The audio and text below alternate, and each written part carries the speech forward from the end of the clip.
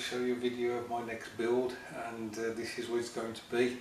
It's uh, Airfix's um, Venerable Fieseler Storch uh, in 172nd scale.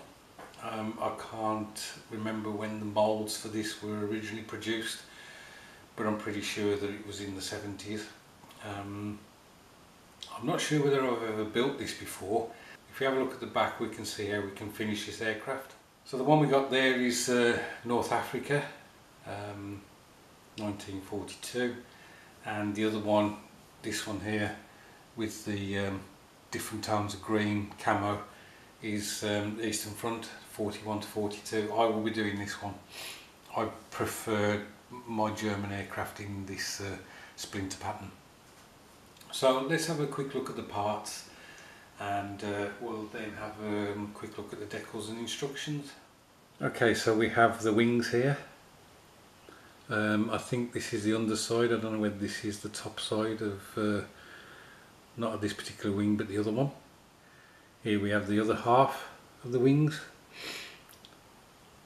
So what it would appear is some of the holes haven't fully formed in that other piece. Uh, so I'll have to drill those out fuselage halves there's the one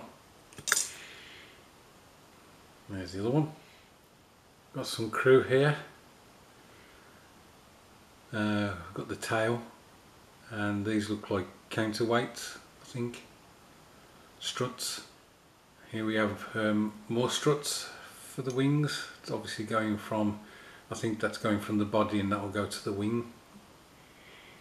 Um, not sure what those are. I've got a bit of sunlight in my eyes so I can't quite see. That looks uh, interesting doesn't it? Bent out of shape and whatever. I might try and recreate those in some metal wire if I can. That's the cockpit floor. Uh, we got the air intake. Um, we've got the seats there. Finally we've got the propeller Sometimes with the Airfix kits, uh, the older ones, the propellers are pretty naff, but this one looks as if it would be okay. Uh, and those are the wheels. Yeah, those are the wheels. From this from this position, they look like some. I don't know what they look like, but they didn't look like wheels. This is what's put me off doing the um, Airfix um, Storch in the past.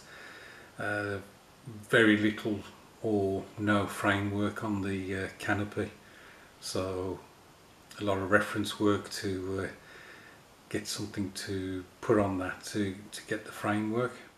Decals look nice. Just seven steps to build this. Uh, you got the crew compartment cockpit, uh, then the propeller, then putting the cockpit and propeller in the um, fuselage, this is where the two uh, variants differ. There's a machine gun in the, the um, North African one and there isn't in the um, Eastern Front. Here's the um, the wings and the is they are they ailerons or whatever. And they're also showing putting the tail on at this point as well. And then we got those uh, counterweights as I say. You got either a skid or a rear wheel um, oh, so those other parts were for the um, were for the undercarriage. Had long legs, didn't it?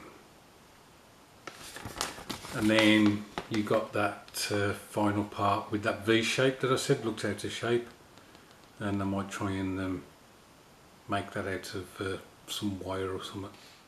So there you go guys, um, this one isn't much of a filler build, it's one I want to take my time over as I say, I, I don't recall ever building this before, so um, I want to uh, make a good job of it. I'm hoping that the kit will behave itself. Sometimes with these older Airfix kits, they are um, builds that really do drive you up the wall. Uh, for instance, the um, is it the widgeon that they do, the seaplane? Um, I wouldn't touch that with the barge pole. I've tried it twice, and the um, the kit parts are just awful. The fit of them is just ridiculous, so I would never touch them. It's Monday so I hope your week has started well. Um, thanks ever so much for watching guys, do appreciate it and uh, hopefully we'll have an update on this soon.